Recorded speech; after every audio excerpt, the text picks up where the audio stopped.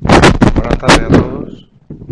Eh, muchas gracias a Antonio Cuesta, eh, doblemente, ¿no? Por un lado, por permitirnos eh, llevar a cabo un proyecto de investigación en un centro de salud y por otro lado, por permitirnos también presentarlo aquí a todos ustedes, ¿no?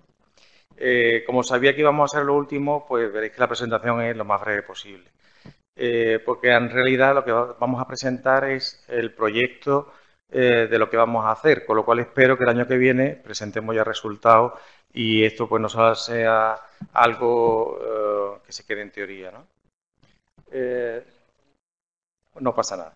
he cogido una foto del tema que estamos trabajando, los compañeros además estamos todos aquí, los médicos, cinco médicos y enfermeros del Centro de Salud de Tiro de Pichón, de la Unidad de Gestión Clínica, y el proyecto nos atrae porque eh, lo que estamos haciendo es, como ya se ha comentado aquí, intentar ah, hacer lo que en realidad debe hacerse en, atención primaria, ¿no?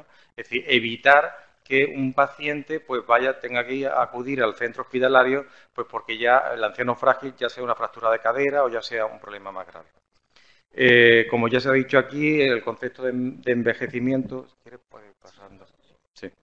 Eh, bueno, pues si no podemos descartar la parte genética que bueno, cada uno lleva, sí que es verdad que nosotros podemos determinar de, una forma eh, previsible nuestro propio envejecimiento, ¿no? Es decir, en función de nuestra dieta, en función del ejercicio, en función de todo lo que vayamos haciendo, pues eh, sin lugar a dudas, nuestra forma de envejecer va a ser diferente entre unos y otros.